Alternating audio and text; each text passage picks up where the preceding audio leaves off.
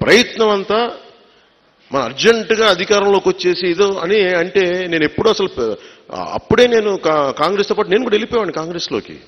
నేను ఏదైనా అవ్వాలనుకుంటే కానీ నేను అట్లా అనుకోవట్లా. ఏదో ఈ సం- ఈ వ్యవస్థలో ఏదో కొన్ని లోపాలు ఉన్నాయి. బాబాసాహెబ్ అంబేద్కర్ గారు చెప్పింది ఏంటంటే నువ్వు ఎన్ని సమాంతర వ్యవస్థలున్నా పెట్టు.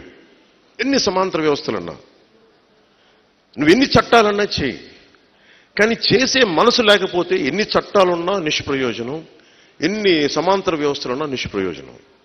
అంటే what we need is we need very very committed people who believe to do some good for the society ప్రజలకి చెయ్యగలిగే ఏదైనా ఒక ప్రేమ ఉన్న వ్యక్తులు కావాలి దీనికి కమిటెడ్ వ్యక్తులు కావాలి at the cost of their life వాళ్ళ జీవితాలను పణంగా పెట్టి చేసి చేయాలి.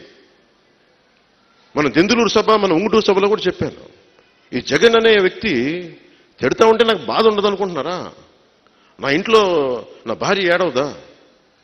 ఏజ్ ఆఫ్ సోషల్ మీడియా కదా. తెలియకుండా ఎందుకు ఉంటుంది? నేను ఎంత దాద్దాం అనుకున్నా? తను విదేశీయురాలు ఎంత దాద్దాం అనుకున్నా తనకు ఎందుకు తెలియకుండా ఉంటాయి? తెలుస్తాయి ఇంట్లో. మా అమ్మ ఎంతసేపు కూర్చో మా అమ్మకి దాద్దాం అనుకున్నా మా అమ్మని తిట్టింది కూడా మా అమ్మ ఎక్కడ యూట్యూబ్లో ఏదో టీవీ సీరియల్స్ ఏవో ఉంటాయి. అవన్నీ చూస్తుంటే ఏదో ఒకసారి తిప్పి బయట కనిపిస్తాయి. ఏంటి నాన్న ఇలా అంటున్నారా అంటది నేనేం చెప్తాను దీనికి సమాధానం?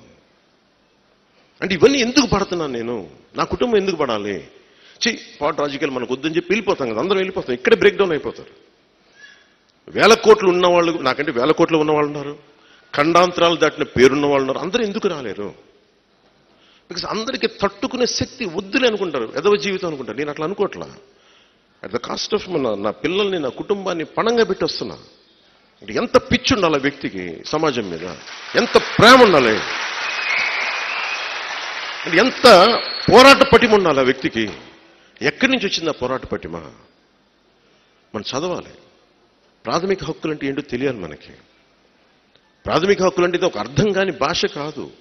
God given rights. భగవంతుడు మనకి ప్రసా మనకి ఇచ్చిన వరాలు మనకి. దాన్ని రాజ్యాంగంలో నిక్షిప్తం చేయబడ్డాయి. నానాపాల్కి నానిపాల్కి వరకు చెప్పిన లా ఇస్ కోడిఫైడ్ ధర్మ.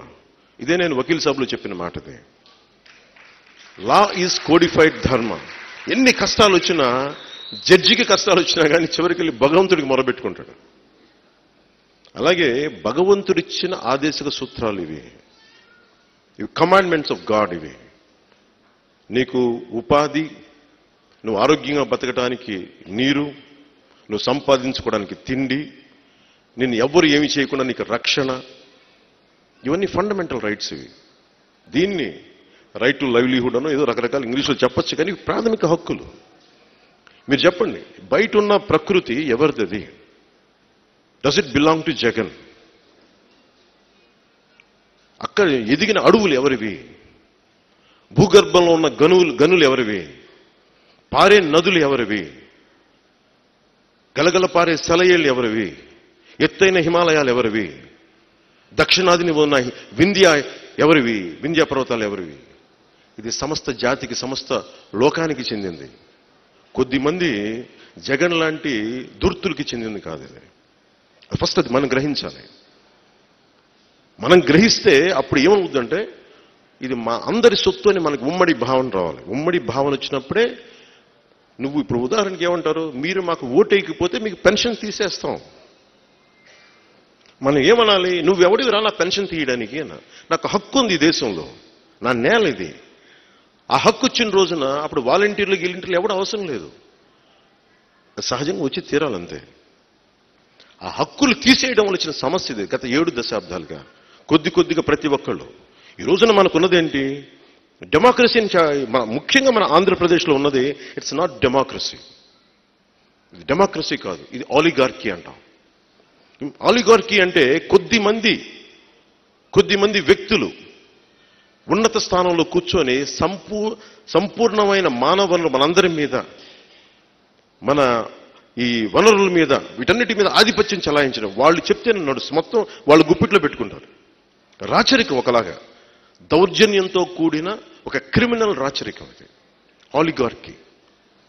అది ఎక్కడో వేరే విదేశాల్లో కాదు కాదు మన దే- మన రాష్ట్రంలో నడుస్తుంది ఇది దీనికి ఒక ప్రైవేట్ ఆర్మీ కాల్ వాలంటీర్స్ గ్రామ సచివాలయాలు. నీకు పంచాయతీ వ్యవస్థ ఉన్నప్పుడు గ్రామ సచివాలయాలు దేనికి నాకు అర్థం కదన్నమాట. పంచాయతీ వ్యవస్థ ఉన్నప్పుడు గ్రామ సచివాలయాలు దేనికి? అంటే నువ్వు ఈ మన జగ్గుబాయ్ ఏమంటాడు? ముఖ్యమంత్రి జగ్గుబాయ్. విచిత పదం. అంటే వాళ్ళకి వైసీపీ వాళ్ళకి చాలా కోపం రావచ్చా? ఏంటి మా మావని పట్టుకుని జగ్గుబాయ్ అంటామంటే. ఓ ఫ్రెండ్లీగా అన్నాను అనుకో పెద్ద ఈజీగా తీసుకు. సో మన జగ్గుబాయ్ గ్యాంగ్కి ఎవరు సలహా ఇచ్చారో కానీ ఆంధ్రప్రదేశ్ మందని ఏదో భావంలో ఉన్నట్టున్నారు. తీసేస్తాం త్వరలో తీసేస్తాం భావం సో జగ్గుబాయికి ఏంటంటే మనకి చాలా మాట్లాడాలనుకునే సభా సంస్కారం కాదని మాట్లాడను. మళ్ళీ ఏడుస్తారు మళ్ళీ నా మీద సరే కొంచెం ఒక ఒక నిమిషం ఒక పది సెకండ్ టైం ఇవ్వండి. జగ్గుబాయ్. అంటే అలాగే. సరదా అంటే వాళ్ళంటే నేను ఎందుకు జగ్గుబాయ్ అంటున్నానంటే ఏకవ చెప్పాను కదా.